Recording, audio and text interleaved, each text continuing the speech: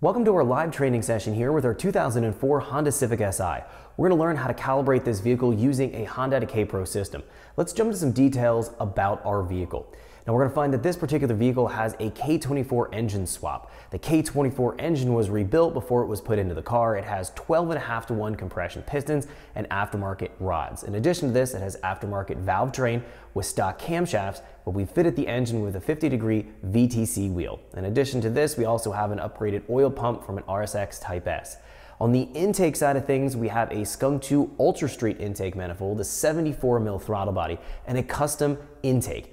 Now on the exhaust side of things, we have a PLM header with a custom two and a half inch header back exhaust on the vehicle. On our fuel system side of things, we have RDX 410cc injectors, an upgraded in-tank fuel pump, and we also have fitted the vehicle with a flex fuel sensor and we're gonna be doing a flex fuel tune. Now in addition to all of this, we have a fuel pressure sensor that's been fitted to the vehicle. We also have an AEM X series wideband that we've wired into the K-Pro that we're gonna be utilizing the closed loop functionality for doing our tuning process. We have a lot of things to cover. We're gonna be first starting off here on 93 octane and learning how we're gonna build our base calibration file. So let's jump into our live training tutorial and learn the base map calibration process. Welcome to our live training session here with our K24 swapped Honda Civic Si. Now we just went over all the details and modifications that have been done to the vehicle. Let's jump into our K-Manager software so we can begin creating our base file from scratch so that we can have a good starting point for the tuning and calibration process in the next few tutorials. This is always going to be the step that you have to take when you start to begin tuning with your Hondata K-Pro. If you don't have any base files already, then you have to create it. So we're gonna learn how to do that creation here from start to finish in this tutorial. Let's jump in here to the K-Manager software, and what we're going to do here is move right up into the upper left-hand corner of the screen under New Calibration. Under New Calibration here, we're going to be selecting the file type and the file that we want to work with from the Honda base map directory. So in this case, this particular vehicle still is using the factory EP3 ECU, which is a PNF style ECU. What we're going to do is load a PRB-based calibration file, which is suited to the 02 to 04 RSX. We're going to take that specific calibration file and load it in here to our PNF ECU.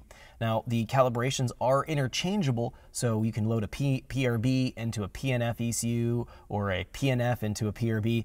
We usually want to go and start off with a PRB based file. In fact, that's what I always do, whether it's an S2000, a D17, or going here EP3 and dialing everything in here with the K24 engine. The PRB-based files are the most developed from Honda, meaning they have the most features and functions found within that file, so we definitely want to work with this. There's really no reason to not use a PRB-based file. So let's jump in here and take a look.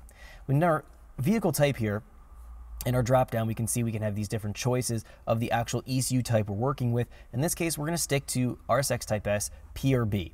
Now from here, we're going to move down our list and take a look at what we have here for options. If we move down here, we do have a 04 to 05 TSX high-tech exhaust and high-flow cat engine cold air intake, 45 degree VTC. This might be a reasonable starting point. However, our injectors are going to be upgraded. Um, we will have much higher compression than a stock K24 engine. We have these high comp pistons in it because the engine did have a, a mild rebuild on it. So this is technically not going to be uh, ideal or not going to be the exact match to what we have here. So what we're going to do, just to keep things simple here, I'm going to move down and grab my option here under our K20 A2 RSX stock tuned.cal. We see the injectors are 310s, a K20 A2 stock engine. Now I'm going to start off with this specific file because I want to go and modify anything and everything anyway, so I'm going to use this as my base. We do have other options. Again, if we kind of move down here, there's some force induction examples, some examples with cams, but we are not going to use any of those. We are going to use here the K20A2 stock engine. We'll click OK.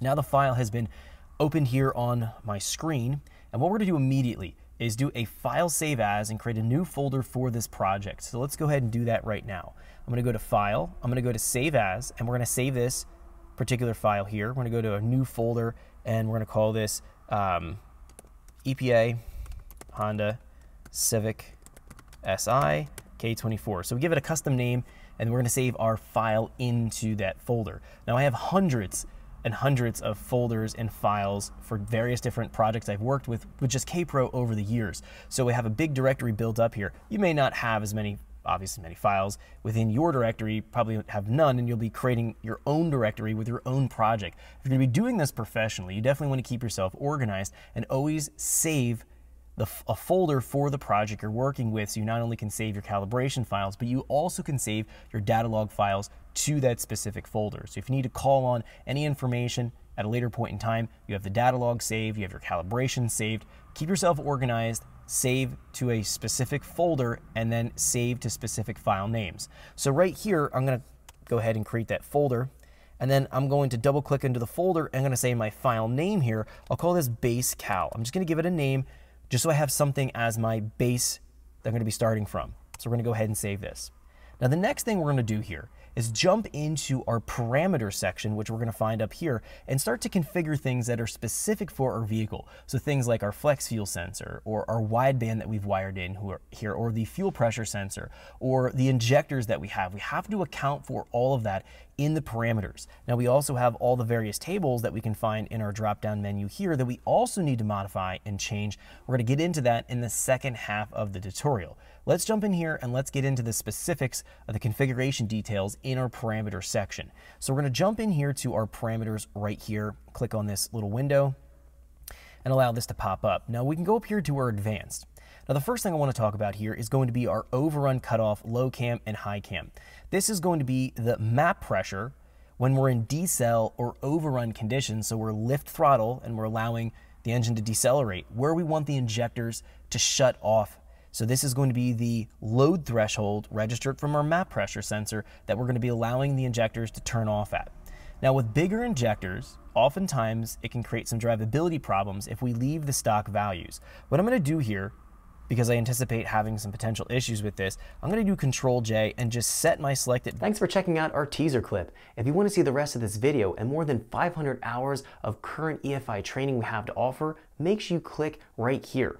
If you wanna go and check out more teaser clips from this training course, click here, and you don't wanna miss any of the videos we're gonna be releasing on this channel, so make sure you subscribe and click here. Thanks for watching, and I'll see you guys later.